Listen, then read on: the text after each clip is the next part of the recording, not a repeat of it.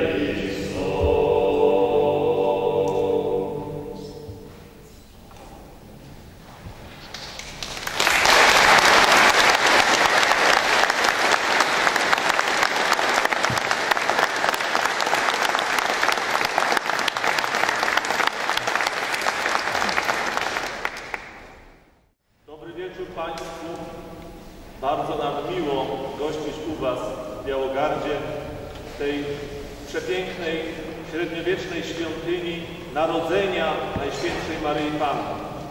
I w związku z tym, że świątynia jest poświęcona Maryi i niedługo już obchodzonemu wspomnieniu Narodzenia Najświętszej Maryi Panny, zaprezentujemy Państwu program Maryjny w całości.